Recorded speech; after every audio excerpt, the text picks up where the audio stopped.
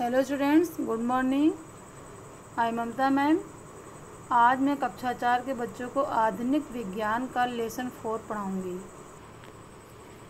Students lesson four आपका क्या है? जंतुओं में अनुकूलन। जंतुओं में अनुकूलन को इंग्लिश में क्या बोलते हैं बच्चों? एडाप्टेशन इन एनिमल जंतुओं को जीवित रहने के लिए उनके उनके जीवन के अनुसार जो है अनुकूलन की योग्यता की आवश्यकता होती है। जैसे बहुत साल पहले पृथ्वी पर डायनासोर रहते थे, लेकिन कुछ समय बाद ये नहीं रह पाए। क्यों नहीं रह पाए? क्योंकि पृथ्वी की जलवायु जो है, अचानक बहुत ठंडी हो गई और इस ठंडी की कंडीशन को, स्थिति को वह जो है सह नहीं कर पाए, सहन नहीं कर पाए, जिसके कारण वे मर गए। तो प्रकृति संसार में एक ऐसा प्रकृति संसार में एक पौधा या एक जानवर स्वयं को जीवित व विशेष परिस्थिति या अनुकूलन लगने वाले वातावरण में बदल देता है, इस प्रक्रिया को अनुकूलन कहते हैं। जैसे कहने का मतलब है बच्चों कि प्रकृति के अनुसार अपनी स्थिति को ढालने की प्रक्रिया को अनुकूलन कहते हैं।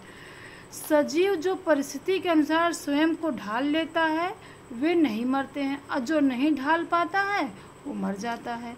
अनुकूलन कई प्रकार के होते हैं। जैसे पर्यावरण का अनुकूलन एडाप्टेशन इन इन्वायरमेंट ये क्या होता है बच्चों? सजीवों के घर या प्राकृतिक वातावरण को प्राकृतिक वास कहते हैं। सभी जीवों को रहने के लिए घर चाहिए और अपने अनुसार वो घर बनाते भी हैं। और कई जगहों पे घर बनाते हैं, जैसे स्थल में, जल में और उभयचर जंतु अपना अलग स्थान पर मकान, ज़मीन ज़मीन के अंदर जो है अपना घर बनाते हैं। वावयी जंतु जो हवा में उड़ने वाले हैं, कुछ जंतु जो वृक्षी हैं, जो पौधों पेड़ पौधे पर रहने वाले हैं। तो इस तरह से कई सभी तरह के एनिमल्स को रहने के लिए अलग अलग तरह के घर बनाने की अलग अलग व्यवस्थाएँ हैं और अलग अलग एटमॉस्फेयर में अपना घर बनाते हैं। जैसे जैसे बच्चों स्थलीय जंतु, जिसको हम टेरेस्ट्रियल एनिमल बोलते हैं, ये जंतु घर कहाँ बनाते हैं? ज़मीन पे बनाते हैं।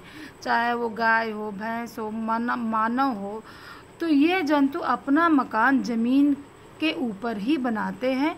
स्थल पर वातावरण एक स्थान से दूसरे स्थान पर भिन्न रहता है और ज़मीन पे, भूमि पे एटमॉस्फेयर जो एक जगह से दूसरी जगह के एटमॉस्फेयर में कुछ भिन्नता ज़रूर होती है, लेकिन वो अपना मकान जो है ज़मीन पे ही बनाते हैं। चाहे वो ठंडी का मौसम हो या गर्मी का मौसम हो या बरसात का मौसम हो तो अपने रहने के लिए तो मकान की आवश्यकता सभी जीवों को हैं तो जैसे एनिमल्स हैं स्थलीय जंतु जो हैं, वो ज़मीन पे मकान अपना बनाते हैं और जो वृक्ष वाले जंतु हैं वो पेड़ पौधे भी बनाते हैं। और जो जलीय जंतु हैं, जैसे मछली है, वो जल में अपना रहने का स्थान बनाती है।